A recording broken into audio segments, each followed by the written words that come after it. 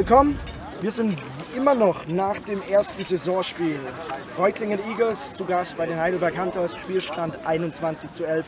War auf jeden Fall auch aus Sicht der Zuschauer ein knappes Spiel. Ich habe hier bei mir den Headcoach der Reutlinger, den Michael. Michael, woran hat es in der ersten Halbzeit gehapert? Ähm, ja, das war, das habe ich auch in der Halbzeit gesagt. Ne? Football ist einfach ein Game of Inches. Äh, wenn ich mir überlege, ähm, wir beim 0-0 hat man eine Situation, als unser bester Receiver durch ist. Ne?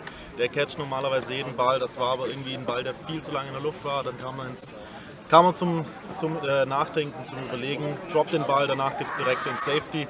Und ähm, irgendwie hat die Offense nicht so ganz executed in der ersten Halbzeit. Okay. Ähm, Gibt es deinerseits jetzt auf jeden Fall äh, Punkte, die du verbessern möchtest bis zum nächsten Spiel gegen Offenburg in zwei Wochen? Gibt es Dinge, die ihr analysieren müsst und auf jeden Fall darauf achten müsst, diese eher und besser auszuführen? Also ich finde, wir haben einen guten Job gemacht. Ähm, Gerade haben wir noch gesagt, es hat so ein bisschen an den Basics gehapert, was mich ziemlich äh, sauer macht. Ne? Das muss nicht sein, dass wir Auswechselfehler haben beim Special Team, wenn die Depth da liegt oder wenn wir einfach nicht, äh, nicht äh, tief tackeln können, was wir im Training die ganze Zeit üben, was wunderbar klappt. Und sobald ein Running Back mit einem A auf dem Helm kommt, äh, verlangt man alles und hat zu viel Respekt vor ihm. Und das sind einfach so Sachen, ne? Respekt verlieren, einfach drauf losspielen und dann ist gut. Klassiker. Okay.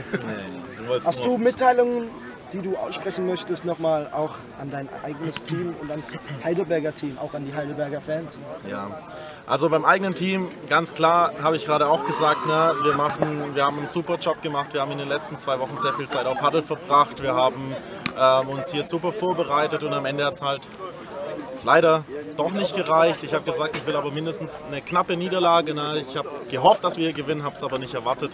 Äh, knappe Niederlage ist jetzt okay, daran können wir uns äh, aufbäumen, können das dann nächstes Mal äh, besser machen. Ja, habe auch vier, fünf Spieler gesehen, die hier jetzt wirklich äh, geweint haben. Denen geht es wohl besonders nah. Ich habe gesagt, heute kann man traurig sein, weil wir hätten echt mehr erreichen können.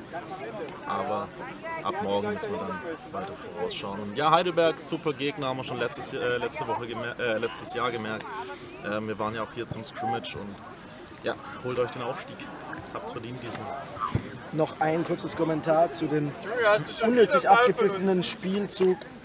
Ich meine, es war ganz klar eine bedeutende Sache. Es hätte den Spielverlauf komplett ändern können. Wie fühlt man sich in der Situation? Letztes Jahr ähm, war unser Runner down.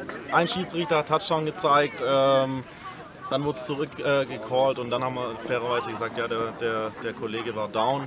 Ähm, das heißt, ich schieße nicht gegen Schiedsrichter oder so, aber das Ding war, war ganz klar viel zu früh abgepfiffen. Schiri hat sich auch am Ende noch entschuldigt und wenn ich mir halt überlege, das sind acht Punkte Unterschied. Ähm, danach wären es dann noch zwei Punkte gewesen oder einer, ich weiß es gar nicht genau. Auf jeden Fall hat man die Two-Point gehabt. Ähm, das ist halt scheiße.